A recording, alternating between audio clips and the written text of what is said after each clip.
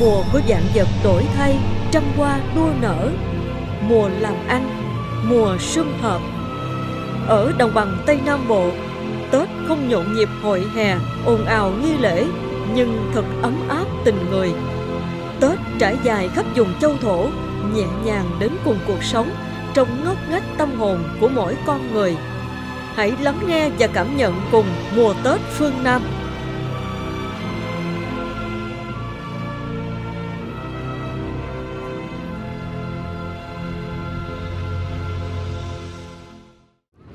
Quý vị và các bạn, à, trong suốt hành trình ký sự mùa Tết phương Nam thì Như Thanh và Thu Trang đã có dịp đi đến nhiều nơi để cảm nhận không khí Tết rộn ràng của bà con ở vùng đất Nam Bộ này. Và từ xưa đến nay thì ngày Tết là ngày của sum họp và đoàn viên. Người đi xa thì tất tả mong trở về nhà, là thời điểm để chúng ta trang hoàng dọn dẹp nhà cửa đón Tết. Và đó cũng chính là lúc mà hàng hóa được về với chợ. Ở những đô thị miền Tây thì à, chợ luôn là hình ảnh gắn liền với những bến sông và ngày hôm nay chúng tôi cũng có mặt tại bến sông này để giới thiệu đến quý vị và các bạn một hình thức hợp chợ mang những nét đặc trưng của vùng sông nước đó chính là chợ nổi. Và đây cũng là hành trình để đi xem bà con thương hồ đón Tết.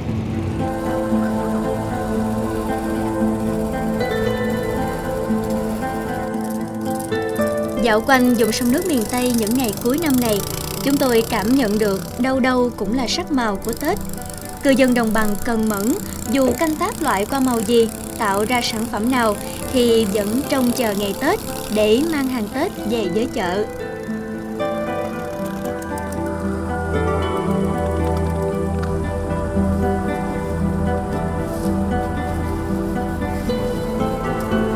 Từ nếp văn hóa được hình thành rất lâu đời, bà con dùng châu thổ miệt vườn Nam Bộ vẫn giữ thói quen họp chợ trên sông, dù ngày nay giao thương đường bộ ngày càng thuận lợi.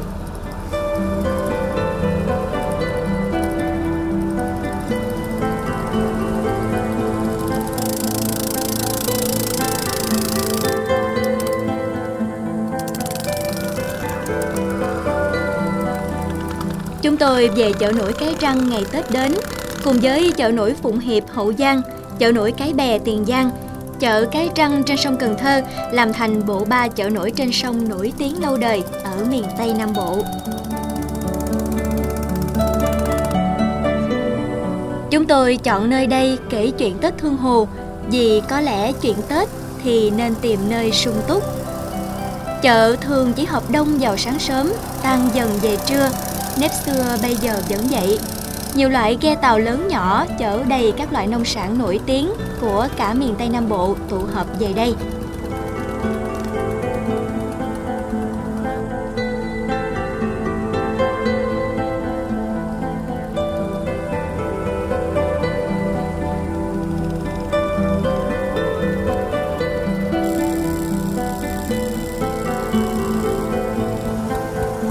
Chợ nổi không mời chào ồn ào như các chợ trên bờ, mà nếu có trao thì cũng lẫn trong tiếng sóng, tiếng mái nổ của ghe xuồng, mà cũng chẳng ai trao, cứ ngồi trên xuồng chèo xuồng mái để đi chợ nổi. Chỉ cần nhìn cây bẹo là có thể cặp đúng ghe hàng cần mua. Trên bờ có hàng gì thì chợ nổi cũng từng ấy món, không thiếu thứ gì.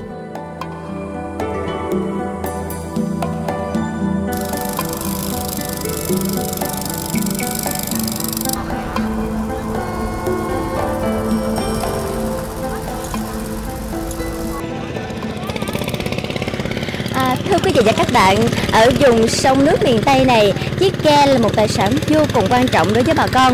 Ngoài là phương tiện vận chuyển để mưu sinh hàng ngày, thì chiếc ghe còn là nhà của họ. Và trên mỗi chiếc ghe thì có treo một cây bẹo, trên cây bẹo sẽ treo những mặt hàng mà người trên ghe bán. Người đi mua đồ cũng chỉ cần nhìn là biết mình có thể mua những mặt hàng gì.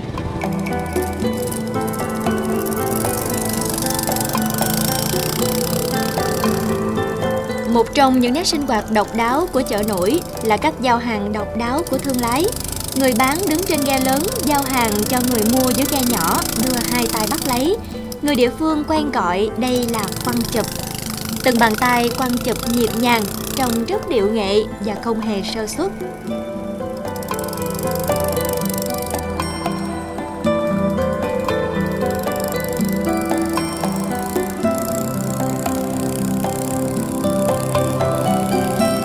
Chợ nổi Cái Răng được xem là đầu mối trung tâm trên đường thủy, chuyên trao đổi mua bán nông sản, các loại trái cây, đặc sản của cả đồng bằng.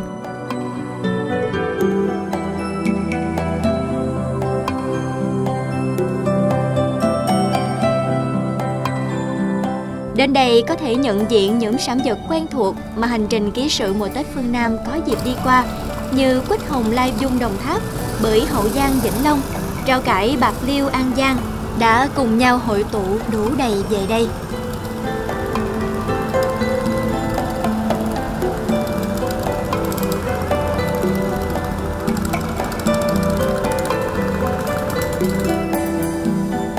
Và đây là hành tím Vĩnh Châu, sản vật của đất Sóc Trăng, nơi chúng tôi có dịp đi qua trong hành trình cùng bà con Khmer đón Tết.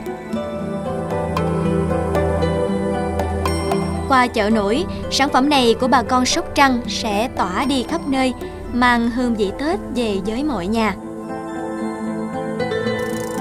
Nếu như trên những cánh đồng hành Vĩnh Châu ghi dấu sự nhọc nhằn vất vả của người nông dân, thì khi hàng hóa về đến chợ là những vui buồn trong câu chuyện bán mua của khách thương hồ. Chợ Tết cũng là nơi ghe thương hồ đặt nhiều kỳ vọng. Sau một năm làm ăn lên đên sông nước, những phiên chợ Tết bao giờ cũng rơm rã và nhiều cảm xúc. Người mong bán hết hàng để lui ghe về quê đón Tết, kẻ nán lại thêm phiên chợ muộn để hy vọng bán được nhiều hơn. Thưa quý vị và các bạn, một trong những nét văn hóa đặc sắc của vùng sông nước Cửu Long đó chính là nếp sinh hoạt thương hồ. Nhiều thế hệ đã được sinh ra và lớn lên trưởng thành à, ở nơi đây. Mặc dù sinh sống và trưởng thành ở à, giữa bộn bề à, bán mua, tuy nhiên thì họ vẫn giữ được những nét tính cách mộc mạc, phóng khoáng và nghĩa tình của những cư dân miền Tây Nam Bộ. Hồi đó tôi đi mướn người ta để dành tiền rồi bắt đầu mua cái ghe được ghe nhỏ, ghe chừng 3 tấn à. Rồi mới mua lên từ từ được cái ghe bây giờ được ghe này Dạ. Nghĩa là chiếc ghe nó gắn liền với đây cái cuộc sống hàng ngày của anh giống như là cái nhà vậy ha. à, Ở đây thì em ra thấy có rất là nhiều những cái ghe lớn giống như ghe của mình vậy đó. Như vậy thì hàng hóa mình mua ở đâu mà mình bán cho không? mua này với Vĩnh Châu mình vô gãy mình mua giá nó rẻ hơn mình dễ mình bỏ cho bà con giá nó nói hơn người ta mới thích ra mua Và cái mùa Tết nó được xem là cái mùa làm ăn của anh Ờ. những bà con thương lái cái cái mùa Tết này nhờ cái vụ hành ví dụ như hành là ngày nào cũng về bán được hết trơn à. còn ví dụ qua Tết thì bán hay chậm lại tới mùa hành này nè. Nó vui lắm. Ví dụ như ờ, bà con ở ghé dụ kèo đông năm ký ba ký mà ký vui lắm. Cái mùa Tết này nè bán xôn xao. Làm khi á là chống nó quen rồi về nhà nó hơi buồn. Làm như ờ, bạn bè đầu đông mà cái về nhà là không có ờ, quen cái nó hơi buồn.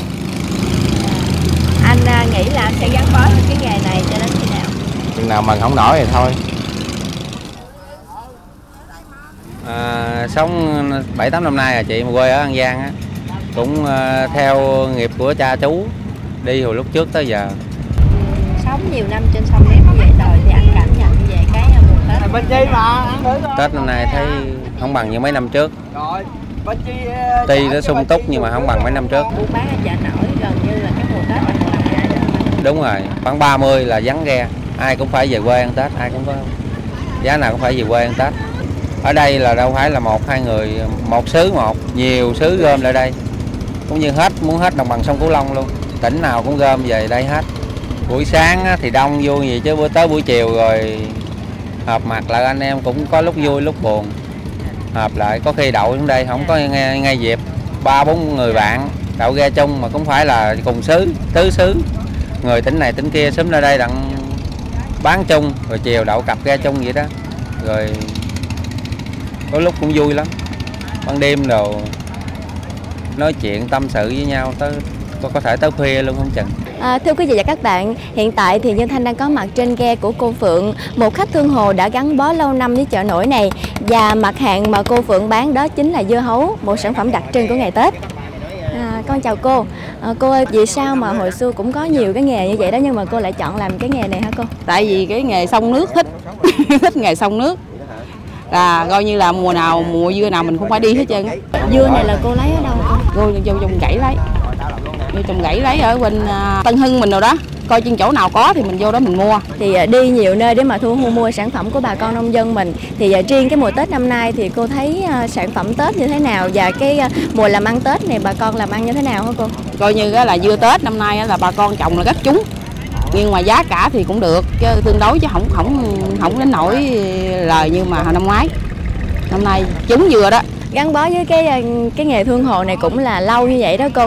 Thì à, thường những cái ngày à, Tết như thế này nè rồi gia đình mình gia đình cô đón Tết như thế nào hả cô?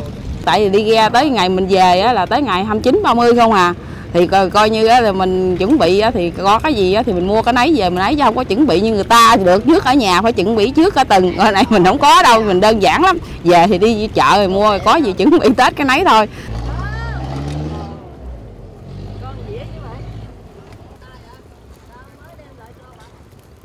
Tôi chạy là đặng phượng lắm nữa rồi.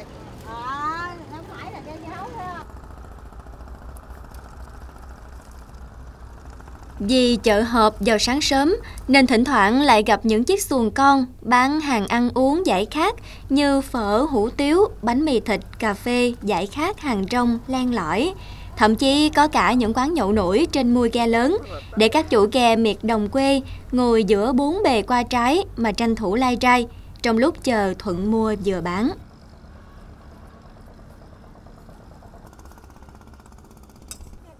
Thưởng thức một bữa ăn sáng giữa chồng chành sông nước đã là chuyện thường ngày của cư dân thương hồ chợ nổi. Còn với những người khách lạ như chúng tôi, thực sự là một cảm xúc mới mẻ và thú vị. Có lẽ cũng chính bởi những điều đặc biệt này mà chợ nổi nào cũng có sức hấp dẫn đối với du khách gần xa.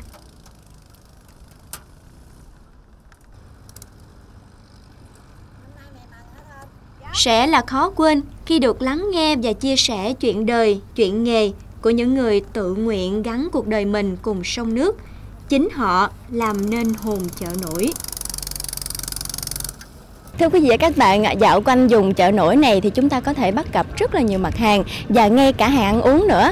Và ngay bây giờ chúng ta sẽ cùng trò chuyện với cô Điệp, một người đã gắn bó với cái nghề bán thức ăn trên chợ nổi này rất là lâu rồi. Cô ơi, cô đã bán hàng thức ăn ở trên chợ nổi này là bao lâu rồi cô? À, chợ nổi này nhóm 36 năm thì cô đủ mặt 36 năm luôn còn ở trên bờ thì cô bán trước là 13 năm nữa. Cô thấy cái công việc ờ, khi mà mình bán ở trên bờ so với đây nó có khác nhiều không cô? Ở trên bờ thì mình chỉ bán là cũng như khách hàng tới để ăn thôi. Nhưng mà được mấy năm gần đây thì à, có du lịch nè. Thì coi như là ừ, khách du lịch cho lại đây mà ăn uống của mình cũng như rồi cái mình có lên mạng đó. Rồi khách hàng đi kiếm rồi tới đây người ta gặp ta mừng lắm rồi bắt đầu ăn uống rồi ta quay phim rồi chụp hình mình rồi đó. Thấy cái đó cảm giác mình rất là vui. Thấy thì ở trước ghe của mình nó cũng đã có để hai chậu qua để chuẩn bị cho tết rồi. Thì thì à, tết này à, riêng cô rồi gia đình của mình à, chuẩn bị ăn tết như sao cô? Cũng như cái tết này mình ở dưới sông này mình thấy những cái ngày này là rất là đẹp trời. Bởi vì bông hoa quả này kia nó đủ sắc màu thì rất là đẹp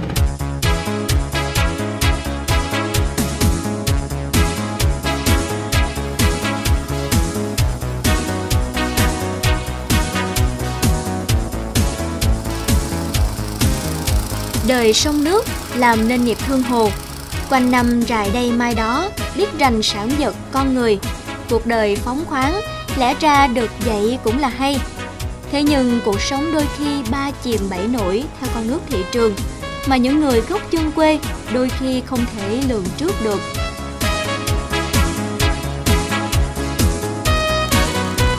Có điều sau những thất bại, gác lại nỗi buồn, người thương hồ vẫn dậy thông dong đi tìm bến mới với cuộc làm ăn mới.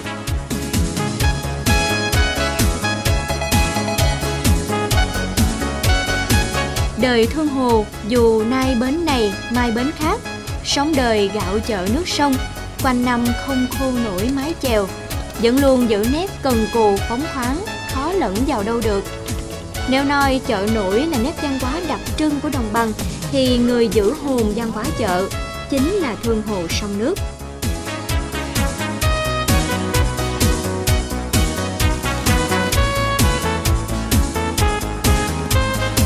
Phiên chợ Tết hôm nay có phần nhộn nhịp với những âm thanh rộn rã. Xem ra sẽ có những người không kịp về đến quê, họ đang mãi miết với câu chuyện làm ăn mùa Tết. Không gian Tết ở đây là những chậu cúc, chậu mai được đặt trên mũi ghe, cùng mâm ngũ quả mang ý nghĩa cầu mong sung túc. Với họ, ghe là nhà, bạn ghe là anh em, Tết là mênh mông trời đất trong tiết xuân lành lạnh, là chén trà chung rượu đơn sơ nhưng ấm lòng bạn thương hồ.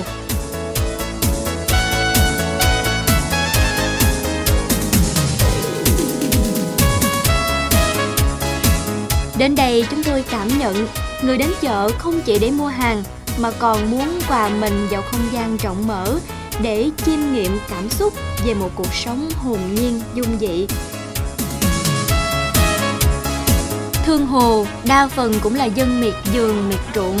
Họ có thể chưa giàu, vẻ ngoài không sang vì cứ lên đên giữa bốn bề sông nước, nhưng luôn biết cách làm nên sự ấm áp trong những ngày Tết đến xuân về.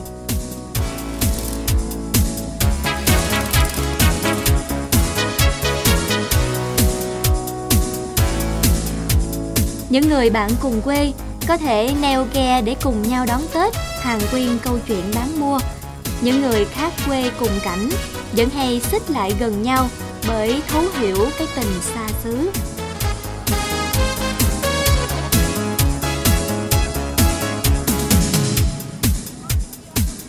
Chợ nổi nơi nào cũng vậy, thường là điểm tham quan du lịch đặc sắc, thu hút rất nhiều du khách, đặc biệt là khách nước ngoài.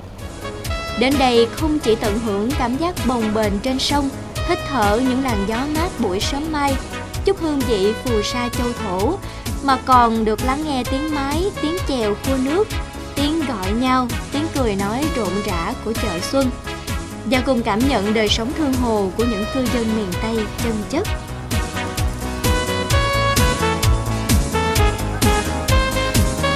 Chợ nổi và cuộc sống thương hồ không chỉ là lịch sử và văn hóa vùng sông nước mà còn là điểm đến du lịch hấp dẫn ngày xuân.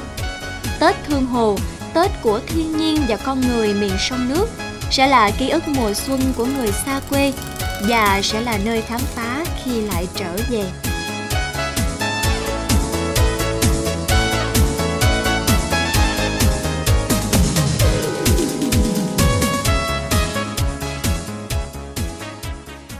Quý vị và các bạn, à, chợ nổi tuy là khá quen thuộc đối với cư dân địa phương nhưng sẽ là vô cùng mới lạ đối với những du khách từ phương xa tới.